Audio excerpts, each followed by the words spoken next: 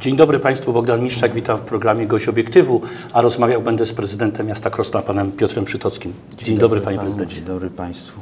E, panie Prezydencie, mija kolejna, czwarta kadencja prezydenta miasta Krosna. Jest Pan jednym e, z niewielu, który e, prawie dojrzałość osiągnął, piastując ten, to stanowisko. Patrząc na Krosno, widzimy piękną drogę, Oprócz tego rosną nam e, wspaniałe galerie. E, cóż oprócz tego e, w Krośnie przybyło przez tę ostatnią, czwartą kadencję, bo o niej byśmy chcieli dzisiaj porozmawiać. Potężna ilość pracy, wiele inwestycji, dużo środków unijnych pozyskanych na realizację inwestycji, zmiany w każdej sferze życia miasta. Jesteśmy miastem, które się e, w sposób zrównoważony rozwija. Mm, należy zauważyć e, duże zmiany w rejonie lotniska i, i na samym lotnisku. To, to też inwestycja, można powiedzieć, stulecia, na którą może nie wszyscy czekali, ale to jest perspektywiczna, mm, związana z rozwojem inwestycja wokół no właśnie, lotniska. Co lotnisko wokół... dla zwykłego Kowalskiego e, jeszcze, jeszcze dodam o 50 hektarach uzbrojonych terenów inwestycyjnych, na których y, niedługo powstanie 15 firm, a więc kolejne miejsca pracy, kolejni, mam nadzieję, dobrze przygotowani specjaliści, którzy tutaj będą pracować, rozwijać biznesy, dawać miejsca pracy, a więc stwarzamy perspektywę, długoterminową perspektywę każdemu, kto chce wiązać przyszłość z Krosnem. Oczywiście lotnisko y, jest y, fazie, można powiedzieć, początkowej, jeśli chodzi o rozwój. Nawiązujemy do tych tradycji, które przed laty tutaj miały miejsce. Było tu Centrum Wyszkolenia Lotniczego. Krosno to lotnisko, prawda? To było drugie miasto w latach 30. przed II wojną światową.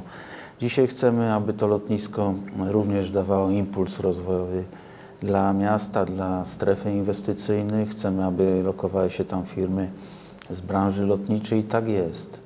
Za chwilę powstanie... Ale to tak samo jak i w Rzeszowie, że mamy Jasionkę i przy niej e, e, budują się firmy? Czy to jest po prostu e, pewne przeniesienie do Krosna, że przy takich inwestycjach i przy terenach, Pan mówi 50 hektarach e, gruntu, który jest dla inwestorów, to też jest taki bodziec? Oczywiście, to jest, to jest stymulator loka, lokalizowania się tutaj. Przyszły do nas firmy może nie z zagranicy, choć z zagranicy firma lotnicza za chwilę się pojawi tutaj na pięciu hektarach wybuduje fabrykę samolotów w bezpośrednim sąsiedztwie pasa startowego. Mm, natomiast y, no przede wszystkim są firmy z regionu. Nie, nie było w, w okolicy tak dobrze przygotowanych terenów inwestycyjnych y, mm, na tak wysokim poziomie oferującym po prostu gotowe miejsce do inwestowania, no i przede wszystkim te ulgi, które daje i państwo i miasto. Jesteśmy tu naprawdę szeroko otwarci na przyjście inwestorów. Mówimy o inwestorach, ale bardzo wiele miast narzeka, że mamy grunty, mamy tereny, tylko inwestor przyjdzie, ale nie ma pracowników. Czy mamy wykształconych pracowników? Bo dzisiaj firma to nie są potrzebni e, najprostsi robotnicy, tylko wykwalifikowana kadra. No, oczywiście wszędzie są problemy z kadrą, e, z, z pracownikami, natomiast tu w Krośnie wydajemy ogromne środki na na to, aby zaplecze edukacyjne było na wysokim poziomie. Mamy y, w tym zakresie pewne też dokonania i, i dzięki temu możemy przygotowywać specjalistów, y, y, którzy są potrzebni gospodarce, którzy są potrzebni tutaj lokalnym przedsiębiorcom. Pierwsze jakby jaskółki tego działania są już za nami. Niedawno i tu w Pana serwisach była informacja również o porozumieniu między mechanikiem, szkołą mechaniczną, a y, hutami szkła, bo y, pewnie nie wszyscy wiedzą, że w hutach jest mnóstwo automatów szklarskich, które muszą To nie tylko dmuchanie jak kiedyś. Prawda? Dokładnie. I formowanie szkła w sposób tradycyjny, który obserwujemy w Centrum Dziedzictwa Szkła, ale przede wszystkim mm, precyzyjnie działające automaty szklarskie, które musi obsługiwać kadra o wysokim poziomie kultury technicznej. I coś takiego ma miejsce, że w tej chwili będziemy ściśle współpracować. Jest dzisiaj e, czas, aby zawiązywać te partnerstwa biznesu z, ze szkołami, aby rzeczywiście mm, sprostać potrzebom chwili.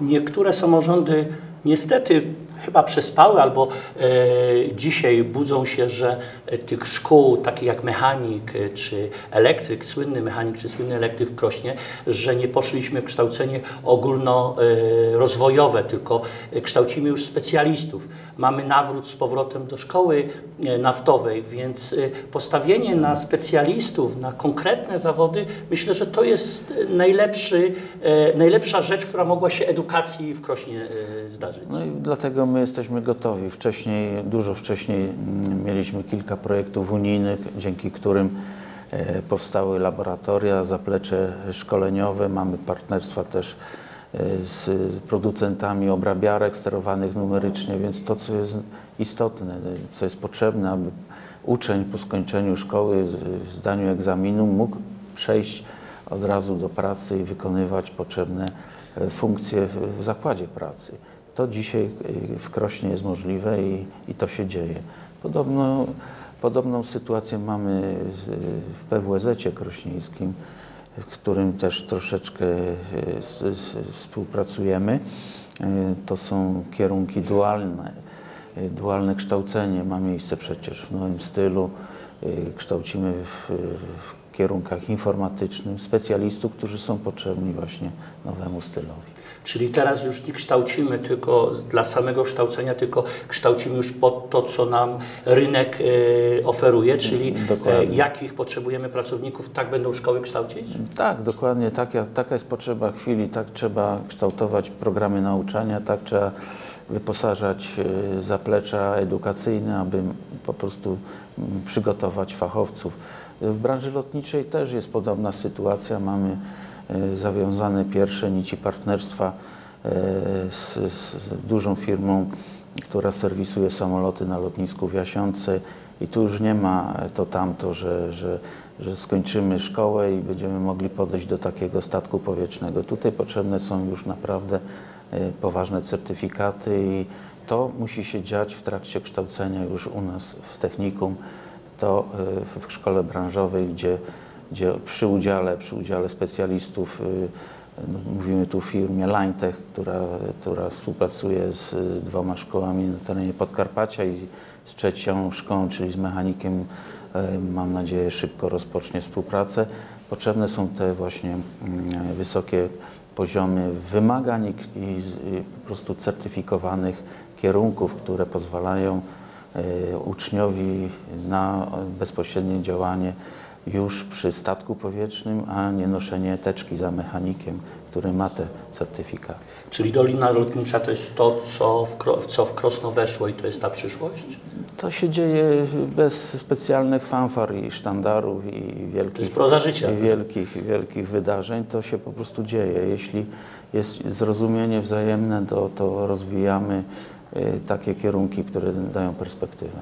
E, Panie prezydencie, wiele podkarpackich miast narzeka, że Rzeszów to jest taki stymulator, który wyciąga, wysysa e, najlepszych pracowników i jednak e, kilkadziesiąt tysięcy samochodów wjeżdża z ludźmi do pracy do Rzeszowa. E, Co zrobić, żeby e, oni zostali w Krośnie, żeby e, łączyli Krosno, że tutaj mm, mieszkają, tutaj dzieci chodzą do żłobka, przedszkola, szkoły i tutaj będą pracować. Czy jest taki pomysł, jest taki plan, żeby tak się działo?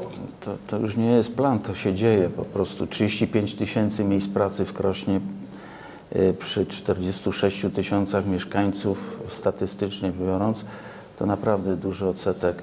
Jeden chyba z najwyższych w Polsce ludzi pracujących y, wśród mieszkańców miasta. Y, Codziennie 15 tysięcy ludzi dojeżdża do Krosna do pracy, więc to jest naprawdę e, spora ilość. Oczywiście nie możemy się tu porównywać ze stolicą regionu, która ma inne e, również mm, Ale też preferencje, się, że Rzeszów wielkość. się rozwija, prawda? No to jest podstawa. Jeśli nie będzie mocnej stolicy regionu, to jak musi, może się rozwijać e, cały region? Dlatego tak usilnie zabiegamy o połączenia kolejowe, szybką, szybką, szybkie połączenia drogowe i kolejowe ze stolicą regionu. To jest warunek niezbędny, aby i Krosno mogło się rozwijać. E, Mówimy tu o połączeniach drogowych i kolejowych, które są chyba największą bolączką e, nie tylko prezydenta, ale i mieszkańców, bo jak się jedzie do Rzeszowa i musi Południa jechać kilka godzin, to jest problem, właśnie. E, Czy realność tych posunięć, o których mówimy, e, jest widoczna? To znaczy, że e, połączenie kolejowe będzie? Tak, tak będzie. Projektowana jest łącznica kolejowa w tej chwili dzięki współpracy i, do, i postawie pana marszałka Władysława Ortyla. Możemy dzisiaj mówić o, o postępie w, w tym działaniu. Jest projektowana łącznica między, e, między Męcinką a Szebniami, a więc jest istotna w zasadzie realna możliwość skrócenia czasu jazdy pociągu do Rzeszowa do, do godziny czasu, a więc no to, na czym od początku mówimy, spełni się, może nie od razu, ale trzeba być cierpliwym, trzeba, trzeba lobbować, aby tak się stało. Coś, co się nie udało za czasów COP-u, może się udać dzisiaj? Yy, Wszystko na to wskazuje, że tak będzie. Mamy tutaj też, yy, to jest bardzo istotna sprawa, sprzyjającą sytuację póki co, że te środki unijne spływają do naszego kraju i do naszego regionu. Będziemy mogli z tych ogromnych pieniędzy również skorzystać przy yy, modernizacji linii kolejowej. To się już dzieje, linii między Jasłem a Zagórzem, ale też te środki unijne będą jak nie z tej perspektywy finansowej, to z przyszłej będą mogły być przeznaczone właśnie na wybudowanie tej łącznicy, która skróci czas dojazdu do stolicy regionu. Podobnie się dzieje z drogą S19. Do No tej, właśnie, do tej z kolei, S19. która jest szumnie zapowiadana, że powstanie. No, y, przypomnę, że koszt, który szacowany koszt budowy tej drogi do Barwinka to 11 miliardów złotych. To jest ogromny y, fundusz, który trzeba zgromadzić. Bez środków unijnych chyba to będzie ciężkie, ale jest realna szansa, aby tak się stało. Idą kolejne Porozumienia były podpisywane, Tak. Więc y, więc teraz te, Krosno też walczy o to, aby szybko się połączyć z węzłem drogi ekspresowej, który będzie w Iskrzyni stąd te nasze działania związane z zakupem lotniska Iwonicz, e, przemianowania tego obszaru również w obszar inwestycyjny, który będzie sprzyjał rozwojowi miasta. E, Krosnu nie tylko zależy, żeby było połączenie pomiędzy e, S19 na Rzeszów, ale również i stronę Słowacji, Węgier, bo to, jest, to też jest No trasa tak. wylotowa e, inwestycyjna, eksportowa e, dla rozwoju Krosna, prawda? Na pewno, byle tylko po stronie słowackiej R4, jak oni to nazywają, czyli droga ekspresowa po, tamtej stronie również była i nie tylko projektowana, ale i wybudowana.